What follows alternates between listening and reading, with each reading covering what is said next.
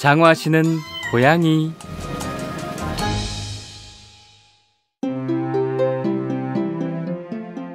옛날 옛적 프랑스에 살고 있는 어느 방앗간 주인에게는 새 아들이 있었어.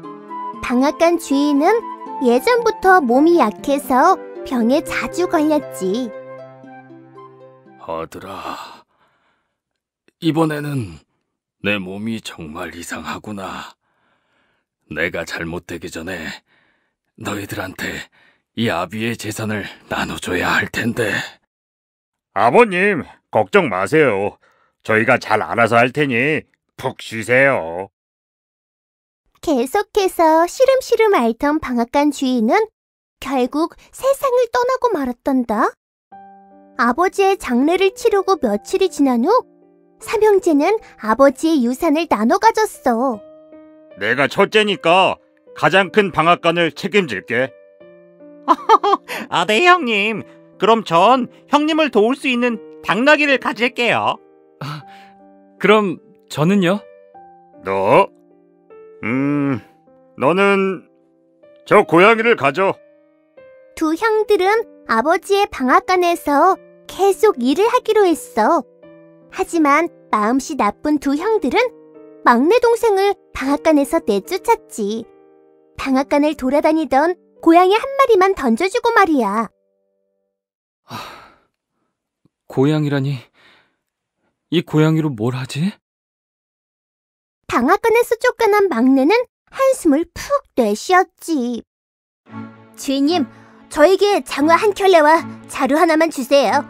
그러면 평생 굶주릴 일이 없게 해드릴게요. 아주 깜짝 놀랄 일이 생길 거예요. 막내는 고양이가 아주 꾀가 많다는 걸 생각해냈어. 맞아. 저 고양인 죽은 척 드러누워 있다가 쥐를 잡아먹던 일도 있고 곡식 자루에 숨어 있다가 쥐를 잡은 적도 있지? 그래 뭐 지금 내가 할 수 있는 게 아무것도 없으니 고양이의 말을 들어야겠다. 막내는 고양이에게 장화와 자루를 구해주었어. 고양이는 장화를 신고 자루를 어깨에 척 매더니 숲으로 들어갔어. 잠시만 기다리세요. 어, 그래. 다녀와. 주인님은 원래부터 나에게 친절하게 해줬어. 다른 두 형들은 날 괴롭히기만 했는데, 헤이, 이젠 주인님한테 보답을 해야지. 먼저 고양이는 토끼굴이 있는 들판으로 갔어. 그리고는 자루에 토끼뿔을 가득 채웠지. 고양이는 토끼가 자루 속으로 들어가기만을 기다렸다가 토끼가 자루 속에 들어가자 얼른 잡았어. 고양이는 잡은 토끼를 들고 궁전으로 갔어. 임금님, 저의 주인이신 카라바스 후자께서 바치시는 것입니다. 고양이는 왕 앞에서 조금도 떨지 않고 당당하게 말했어. 자기 주인 이름까지도 멋대로 지어내면서 말이야. 오, 카라바스 후작에게 고맙다 전하게. 왕은 기뻐하며 토끼를 받았지. 며칠 뒤 고양이는 밀밭으로 가서 새 두 마리를 잡았어. 그러고는 다시 왕에게 찾아가 바쳤지. 임금님, 저의 주인이신 카라바스 후자께서 바치시는 것입니다. 어휴, 이런. 또 선물을 가져오다니. 네 주인께 정말 고맙다고 이르거라. 왕은 무척 기뻐하며 말했어. 그렇게 고양이는 몇 달 동안이나 사냥을 해서 왕에게 꼬박꼬박 선물을 바쳤어. 자기 주인인 카라바스 후작이 주는 거라고 말이야. 그러던 어느 날 고양이가 헐레벌떡 달려오면서 소리쳤어. 주인님, 임금님이 강가로 나들어 가신대요. 얼른 강에 가서 목욕을 하세요. 어? 어, 아, 알았어. 막내는 시키는 대로 얼른 강으로 가서 물속으로 들어갔어. 조금 있으니 왕의 마차가 나타났지. 그러자 고양이가 소리쳤어. 도와주세요! 도와주세요! 카라바스 후장님이 물에 빠졌어요! 막내는 그저 놀란 얼굴로 그 모습을 보기만 했지. 아 이런! 아, 어서 후작을 구해주거라! 어서! 왕은 고양이를 알아보고는 어서 후작을 구해주라고 명령했어. 그 사이 고양이는 얼른 왕에게 달려가 도둑들이 후작의 옷을 훔쳐갔다고 둘러댔지. 임금님, 도둑들이 저희 주인님을 물에 빠뜨리고는 옷을 훔쳐 달아났습니다. 허허, 아, 후작이 많이 놀랐겠군. 어서 후작에게 가장 좋은 옷을 갖다 주거라! 왕이 준 멋진 옷을 입자 막내는 정말 후작처럼 보였어. 왕과 함께 있던 공주도 한눈에 막내에게 반할 정도였어. 카라바스 후작, 만나서 반갑소. 그동안 보내준 선물은 아주 잘 받았소. 이렇게 만나다니 이것도 참 인연이요.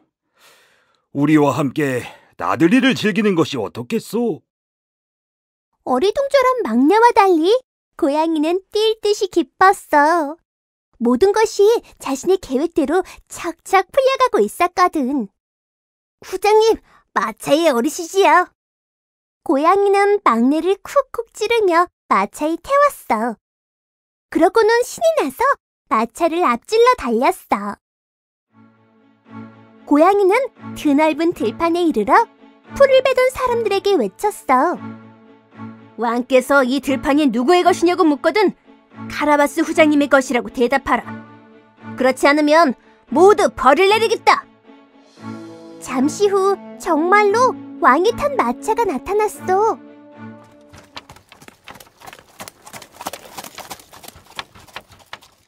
오, 아주 기름진 들판이구나. 이 들판은 누구의 것이더냐? 깜짝 놀란 농부들은 고양이가 시킨 대로 말했어. 이 들판은 모두 카라바스 후장님의 것입니다. 왕은 미소를 지으며 고개를 끄덕였어. 그러고는 기쁜 얼굴로 막내를 바라보았지.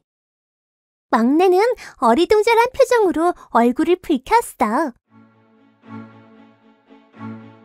고양이는 또 마차를 앞질러 갔어. 고양이는 밀밭에서 밀을 걷어들이던 농부들을 보고 소리쳤어. 왕께서 이 밀밭이 누구의 것이냐고 묻거든 카라바스 후장님의 것이라고 대답하라. 그렇지 않으면 모두 벌을 내리겠다. 잠시 후 왕이 나타났어.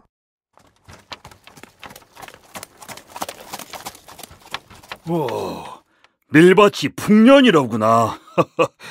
이 밀밭은 누구의 것이더냐? 예, 모두 카라바스 후장님의 것입니다. 왕은 막내가 더욱 마음에 들었어. 고양이는 밀밭 너머에 있는 커다란 성으로 갔어. 그 성의 주인은 사람을 잡아먹는 괴물이었지. 사실 들판과 밀밭은 모두 이 괴물의 것이었어. 고양이는 성에 들어가 예의 바르게 인사했어. 위대하신 성주님, 이렇게 뵙게 되어 영광입니다. 사람들이 그러는데 성주님은 어떤 동물라든 변신할 수 있다면서요? 사자나 코끼리로도 변할 수 있나요? 자신에게 예의 바르게 행동하는 고양이를 보고 괴물은 기분이 좋아졌어. 어때? 한번 보여줄까? 괴물은 눈 깜짝할 사이에 무시무시한 사자로 변했어. 이리라! 고양이는 깜짝 놀라 기둥이로 도망쳤어. 어떠냐? 무시무시하냐? 괴물이 깔깔 웃으며 원래 모습으로 돌아오자 고양이는 벌벌 떨며 기둥에서 내려왔지. 와, 대단하세요. 정말 무서웠어요. 그런데 성주님, 혹시 작은 동물로도 변할 수 있나요? 커지는 것은 쉽지만 작아지는 것은 좀... 뭐라고? 에, 그까지 것쯤이야? 괴물은 순식간에 아주 조그만 생쥐로 변했어. 그 순간 고양이는 생쥐를 덮쳐 한 번에 꿀꺽 삼켜버렸단다. 때마침 왕이 탄 마차가 성에 도착했어.